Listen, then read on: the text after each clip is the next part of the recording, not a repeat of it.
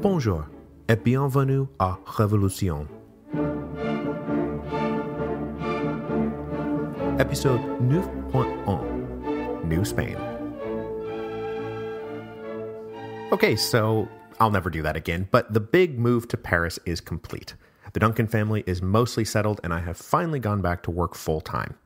Now, if you're interested, it appears that I will be splitting most of my time between the Bibliothèque historique de la ville de Paris and the Bibliothèque publique d'information. The former resides in a converted palace from the 1500s, the latter resides in the Centre Pompidou, a building so modern that it makes your head hurt. So it's wonderful contrasting work environments. It's all been great so far, hard, but great. And let me tell you, it feels really good to be back to work. So from here on out, I will be working on Citizen Lafayette half the time and the other half of the time producing this here weekly podcast. The only noticeable difference on your end should be that maybe the ambient audio sounds a little bit different now, which is because I'm in an apartment in Paris, not a basement in Wisconsin. So if there is a difference, well, this is what the show sounds like now. So without further jibber jabber, we embark now on our ninth series together. This one will be about the Mexican Revolution, which lasted roughly from 1910 to 1920. Today, we are going to go back in time to roughly the same place I began our fifth series, the one on Spanish American independence, to reacquaint ourselves with the backstory of New Spain, the viceroyalty that covered North America and which would eventually, mostly, transform into the country we call Mexico. Next week, we will cover Mexican independence, which I intentionally did not cover during Series 5, but which unfolded from 1810 to 1821, alongside the many adventures and misadventures of Bolivar and San Martin and the rest of the guys down in South America. Then the week after that, we will cover the first 50 years of independent Mexico, their economic developments, the struggles between liberals and conservatives, the struggles with the United States, through about 1876. And then episode 9.4 will be an in depth look at the Porfiriato, which is the regime, the Ancien regime, if you will, against which our Mexican Revolution will be staged. After that, it gets a little nuts, and we'll just see how long it takes us to wade through it all. And before we get going, as usual, I would like to apologize for any mispronunciations I make along the way. I cannot wait to see what trying to affect a French accent all the time is going to do to my pronunciation of Spanish. One thing that never changes here on the Revolutions podcast is my ability to find new and interesting ways to mispronounce things. Okay, so climbing into the Wayback Machine. In episode 5.1, we talked about how the Treaty of Tordesillas in 1494 between the Crown of Castile and Portugal gave the Spanish control of everything on the other side of a line drawn 370 leagues west of the Cape Verde Islands, which turned out to be all of the Americas except for Brazil. Spanish explorers and conquistadors then moved into the Caribbean, and then Cortez led an expedition to the mainland that saw him make contact with and conquer the Aztec Empire of the central Mexican plateau. These first decades after the arrival of the Spanish were, as you will recall, a humanitarian disaster for the indigenous population and resulted in their near complete annihilation by the 1540s as a combination of disease, war, famine, forced labor, and everything else took the pre Columbian population of New Spain of 25 million down to a post Columbian population of just over 1 million. While this mass death was unfolding, the first run of conquistadors and their heirs were setting themselves up as the new top of the political, economic, and social pyramid, replacing the power structures that had been built by the Aztecs and the Maya, often literally and directly. Most, though not all, of the principal cities of New Spain were built up and out of the urban centers of pre Columbian Mesoamerica. So, Mexico City, for example, the capital of New Spain, was just the Aztec capital of Tenochtitlan by another name. You will also remember from episode 5.1 that the early economic structure of Spanish America was built around the encomienda system, which was awarding the tribute and labor of particular indigenous peoples, though not their land per se, to members of these conquistador expeditions. So, for example, in the central plateau of Mexico, whatever those people had owed the Aztecs, they now owed to some random Spaniard. These encomienda became the basis of most of the wealth that was claimed by the heirs of the conquistadors, far more than the transient spoils from the conquest. But after a few decades' experience with conquistadors on the far side of the Atlantic setting up these vast quasi empires for themselves and claiming de facto personal sovereignty over huge populations, the Habsburg monarchy back in Spain became worried that these guys might go rogue. So they created a new political structure to cement the Spanish crown, not the conquistadors, as the basis of power and sovereignty in the Americas. In 1535, they created the Viceroyalty of New Spain to cover roughly all of North and Central America, and then followed this up in 1542 by establishing the Viceroyalty of Peru, which would administer all of South America. Now, just by way of refresher, because I know you all took copious notes during Series 5, the vice regal power structure looked like this. At the top, there was a viceroy, appointed by the king. He would come and serve as the representative of royal sovereignty. These guys were always trusted agents of the royal family, and during the Habsburg era at least, they were often also high ranking officials in the Catholic Church. Just below and adjacent to the viceroy were the audiencias. You remember those? Those were committees of rich and powerful men who acted as the supreme judicial body, but also who had some legislative and advisory functions to complement the powers of the viceroy. And while there was only ever one viceroy, the number of audiencias proliferated to help deal with the vast size of New Spain. The main audiencia was, of course, in Mexico City, but there were also audiencias in Santo Domingo, in Panama, Guatemala, Guadalajara, and far off in Manila in the Philippines, which was technically a part of New Spain. Below the audiencias were an even larger number of regional governors, and below the governors were about 200 recognized municipalities who would be governed by appointed mayors aided by town councils composed of the local elite families. But despite this top down political structure that traced its authority directly to the king himself back in Spain, in the early days of Habsburg New Spain, it was really a pretty decentralized ruling structure, almost by default. Given the state of the transportation and communication lines in the 15 and 1600s, local leaders exercised a lot of autonomy and were given a great deal of latitude to make their own decisions. Now, arriving alongside these early secular conquistadors and fortune hunters, and then later vice regal administrators, was the Catholic Church. During the vice regal era, the church was effectively a branch of government, and especially during the Habsburg era, a lot of church officials were just employed as vice regal officials. But though the church often worked in tandem with the government, the church naturally had its own independent agenda. Catholic missionaries went forth to convert the indigenous population, lay down new spiritual roots, and along the way, build up their own set of vast holdings to enrich the Catholic Church, both in terms of souls and pesos. Over the centuries, nearly all of New Spain was converted to Catholicism, though it was never a strictly European Catholicism, and it always blended in with ancient beliefs and customs, no matter how hard some in the clergy tried to stamp all that out. Along the way, the church quickly became the largest and richest single entity in the Americas outside of the crown itself. But that said, with their priests and missionaries often living in and among the indigenous tribes of New Spain, learning their customs and their languages along the way, these priests and missionaries became something of advocates for the tribes against the encroachment of more cynical landowners and rapacious government officials. Now, there's always tension between the church and the indigenous populations, but the centrality of the church to daily life became established enough that Catholic images like the Virgin of Guadalupe would become powerful unifying national symbols in the years of revolutionary tumult to come.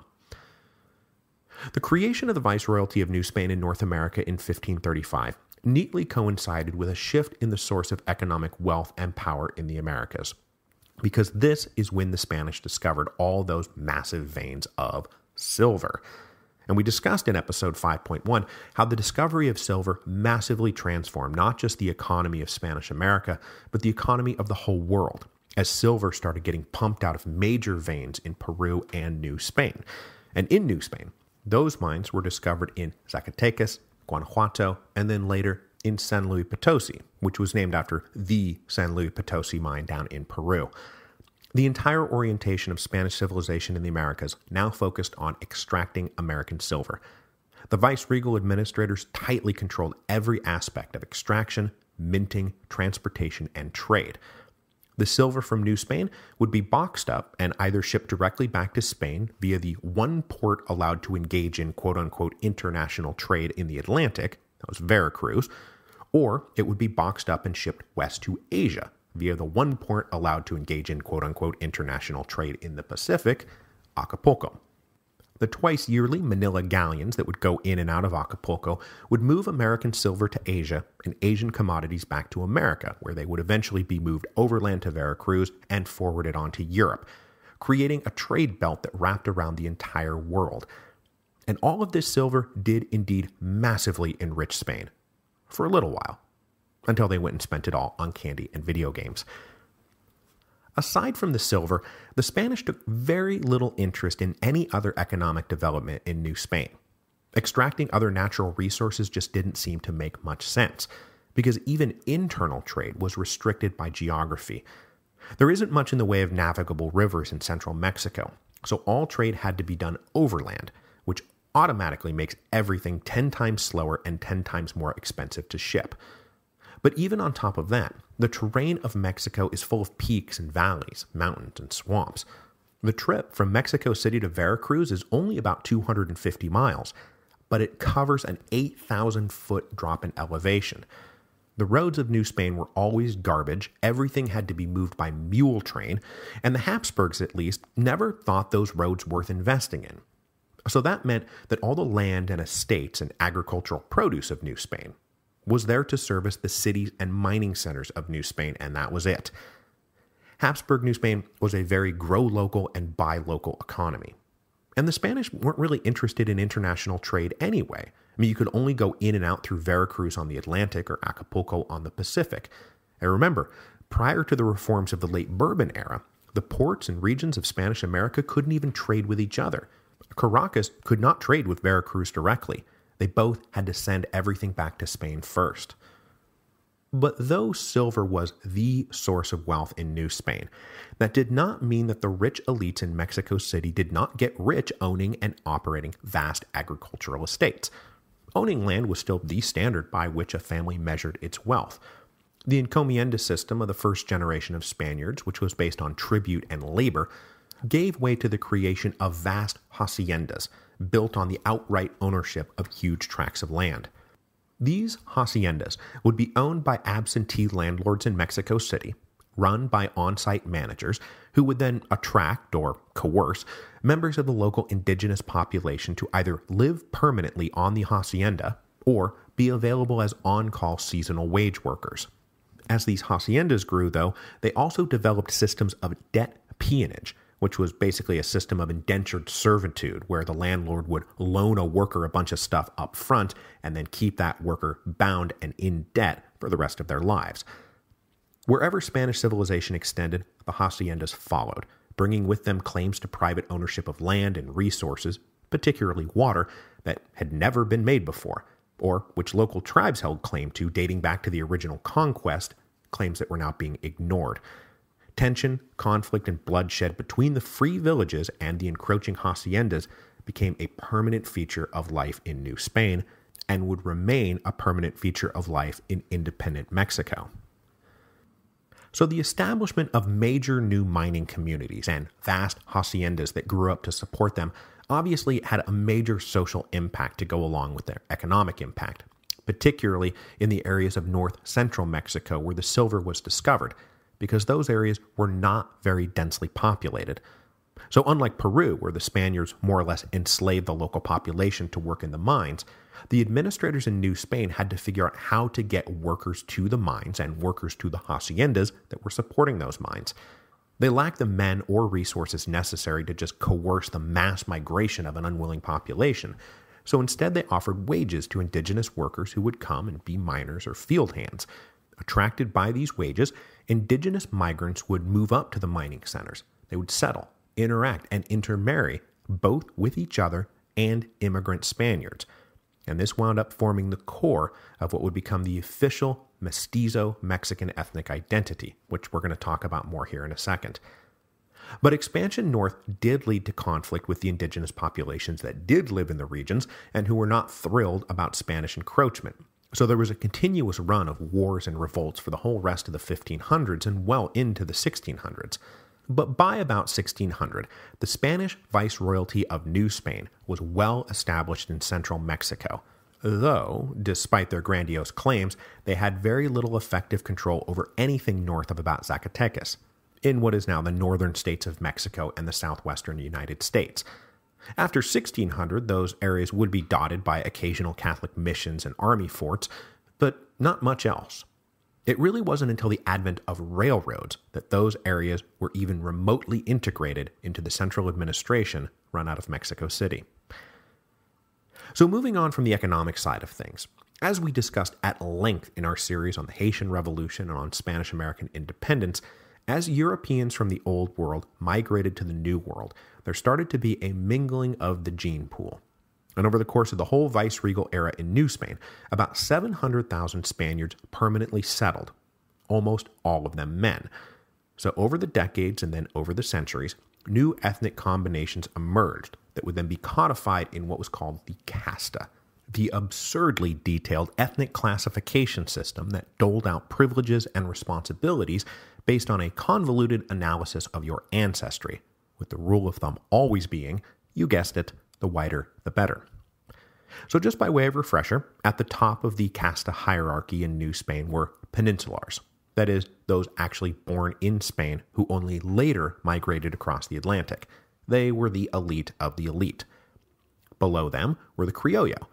Criollo were the elite Spanish families who settled permanently in New Spain and mostly in Mexico City.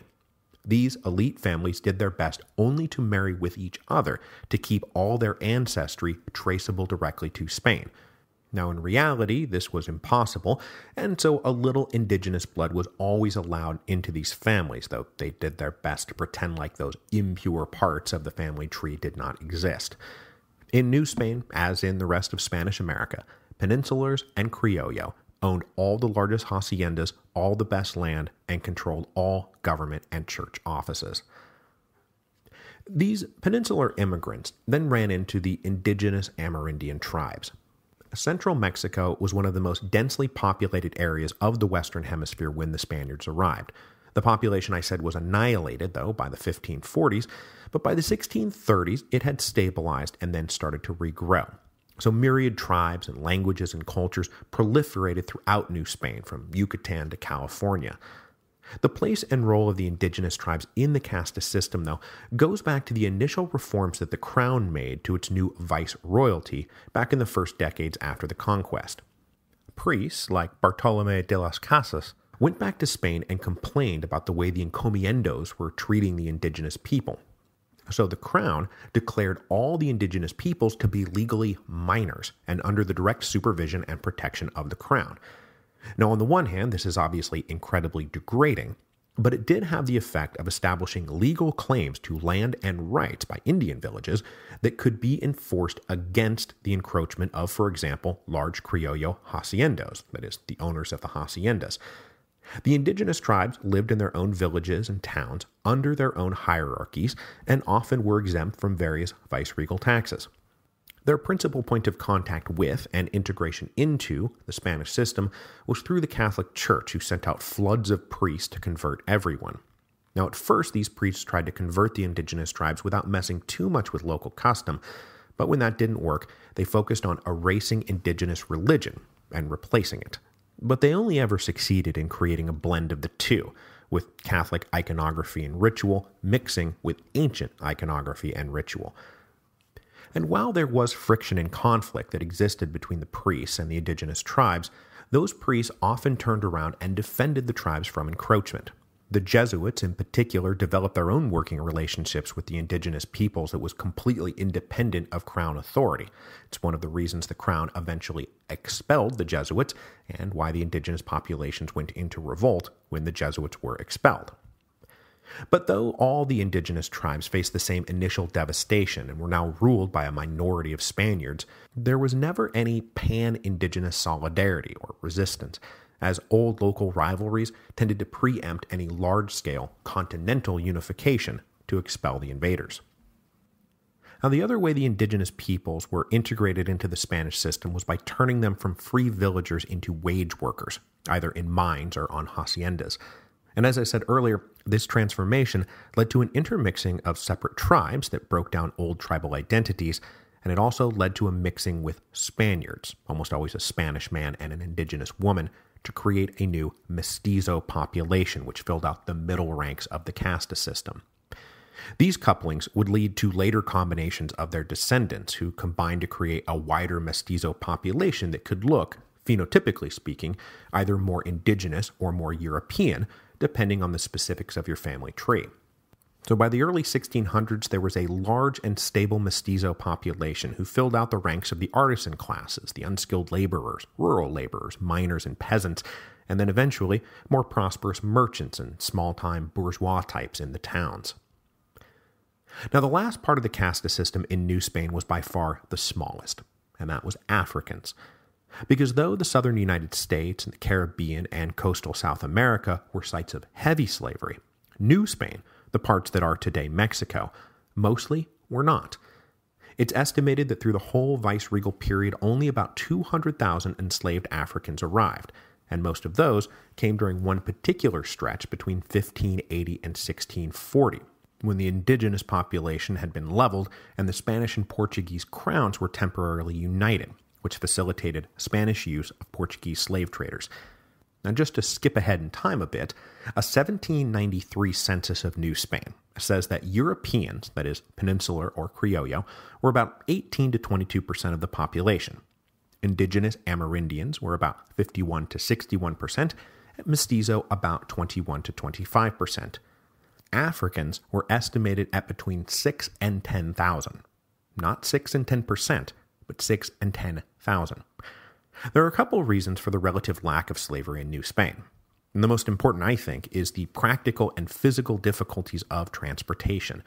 When slave ships arrived in Caracas, Venezuela, or Cap Francais, Saint Domingue, or Charleston in South Carolina, they deposited enslaved people who were within easy reach of the areas they were destined to live and work.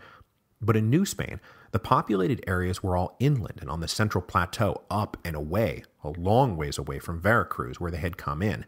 It was a thousand miles over terrible roads to get from Veracruz to Zacatecas. So, though enslaved Africans did make it to the mines, their numbers were dwarfed by the indigenous Amerindians and mestizo wage workers. On the large agricultural estates, owners had developed a pretty good system of debt peonage as their version of forced labor, and then after 1640, the divorce of Spain and Portugal led to Spain losing easy access to the Portuguese slavers. So, when enslaved Africans did arrive in New Spain, they were usually confined to the coastal areas, particularly around Veracruz, where they were used on some sugar plantations and producing textiles. So the enslaved population in New Spain was small, it was confined to the coast, and then it was usually demographically worked out of the caste system within a generation or two because the slaves who did arrive were predominantly male. And if they had a child with an indigenous woman, that child took the free status of the mother. And then the future recognition of Afro Mexicans, who were a part of the casta system, was then and is still today a very contestable and controversial issue because the descendants of Africans usually pass themselves off as mestizo for social and economic reasons, and then after the Mexican Revolution, there was a concerted effort to embrace the combined Spanish indigenous ethnicity as the official ethnic identity of Mexico and just sort of leave the African part of the story out completely. Now, the last thing I'll say about the caste system before we move on is though it was rigidly codified on paper, there were all these like famous posters that would be commissioned to show each potential combination of white, indigenous, and black, and then tell you what privileges, responsibilities, and stereotypical behavior were expected of each. Around the edges, the casta was very fluid and 100% a socially constructed reality, not a biologically constructed reality. So a very white mestizo could pass as criollo those with African blood, as I just said, routinely presented themselves as mestizo. A mestizo who lived with and spoke the language of an indigenous tribe was considered a part of that indigenous tribe.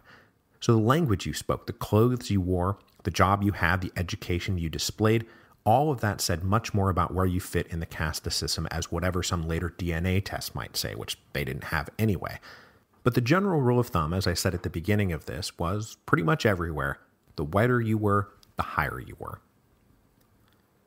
So, as you will further remember from Series 5, the Habsburg era in Spain skidded to an ignominious halt at the end of the 1600s, and they were replaced by the arrival of the Bourbon dynasty, who took up permanent residence in Madrid at the close of the War of the Spanish Succession in 1715. From the perspective of the Viceroyalty of New Spain, the principal impact of this was all those reforms that the next few Bourbon monarchs, especially Charles III in the second half of the century, pushed onto their American holdings to increase economic productivity and tax revenue. The Bourbon economic reforms had two principal goals. First, increase the amount of silver coming out of the viceroyalty, and second, diversify the economy so that it produced more profitable goods, both for internal trade and external trade, the wealthy peninsular and criollo landowners were given every encouragement to plow their wealth back into the viceroyalty and make large capital investments, cultivate more land with more cash crops, and improve mining extraction and efficiency. And the elites responded. With the church acting as a mortgage bank and with the government providing financial incentives, the annual silver output of New Spain increased from about 1.5 million pesos in 1700 to 25 million pesos by 1800.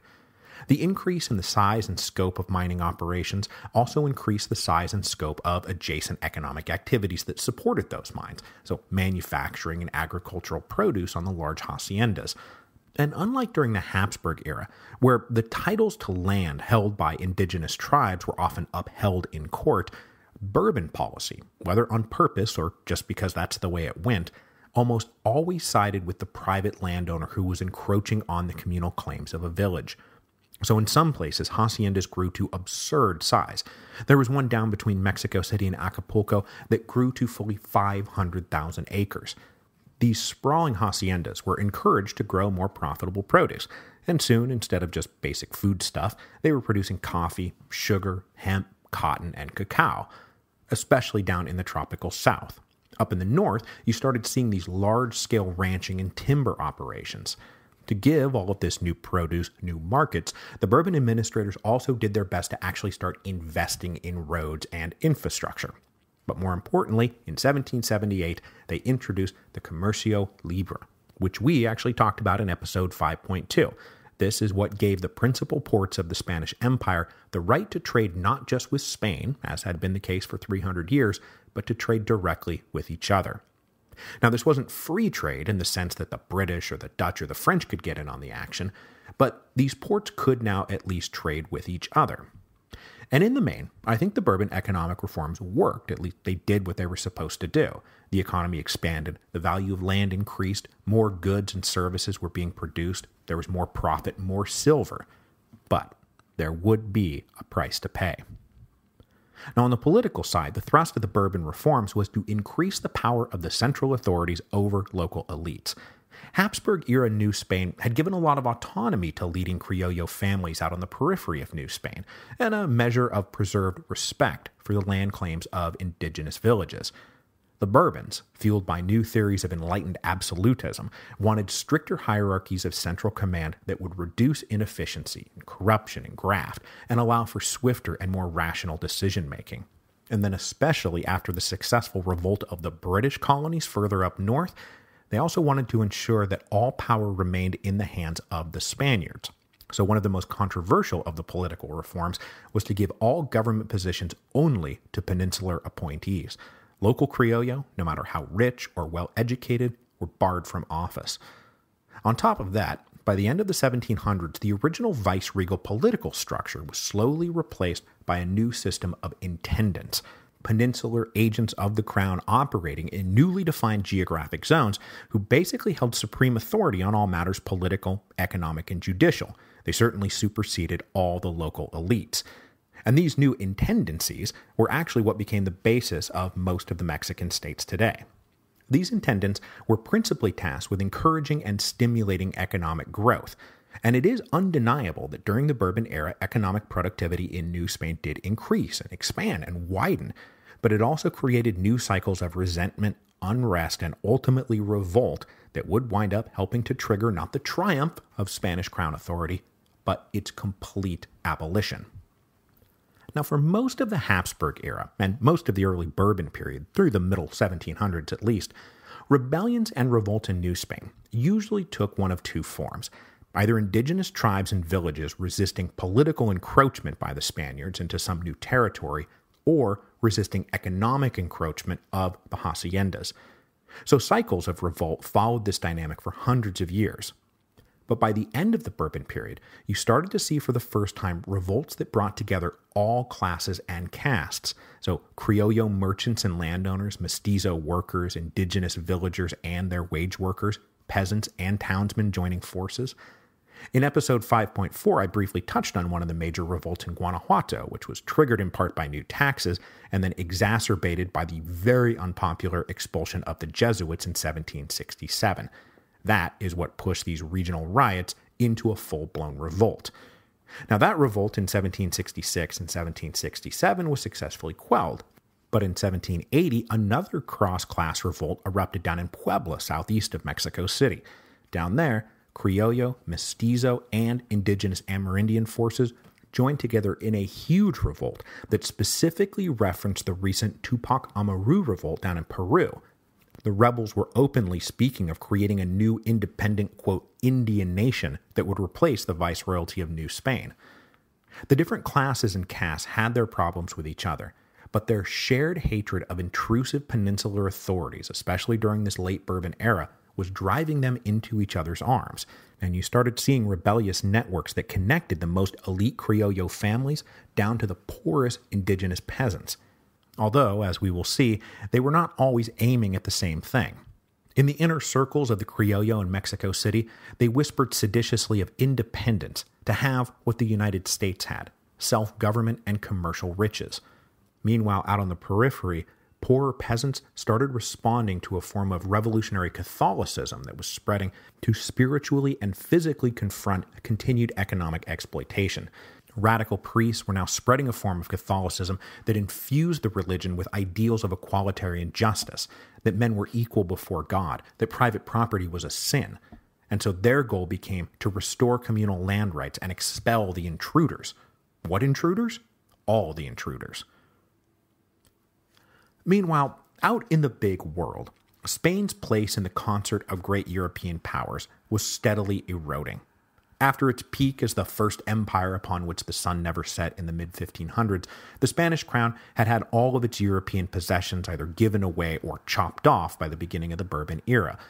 Now, they still had their vast claims in the Americas, but the rise of British and French colonialism started putting practical limits on those vast theoretical claims to controlling like everything in the Western Hemisphere. So, for example, in the 1720s, a little skirmish in what is today Nebraska between Spanish soldiers and a combined force of French and Pawnee Native Americans effectively drew a line for how far the Spanish would be able to reach north. Then, in the midst of the Seven Years' War, the British captured both Manila and Havana, which was an embarrassing reminder that where once the British had been merely pesky pirates, they were now the dominant sea power in the world. Now, after that Seven Years' War, though, they did benefit from France's catastrophic losses, and they got legal possession of what became the Louisiana Territory. And then, after joining with the French to help the American colonists, they got control of Florida. Now, on the other side of the continent, the Spanish tried to keep running up the Pacific coast, but they bumped into British and Russians who were making their own claims and explorations in the region, and the Nootka Sound crisis, for example, almost led to a full blown war between Spain and Britain in 1789. But we all know what happened in 1789 the French Revolution.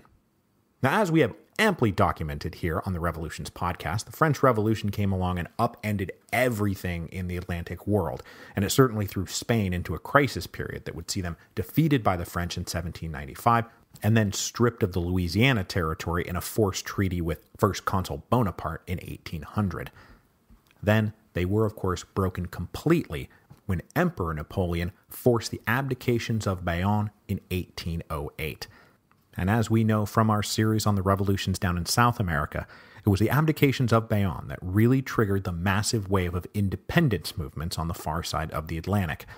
And next week, we will pick up that thread in New Spain where, after a couple years of political uncertainty, there was a growing expectation among the criollo that independence in the Americas would be the logical result of all this, an expectation that was finally given voice by Father Hidalgo when he issued his famous Cry of Dolores in September of 1810, triggering the War of Mexican Independence.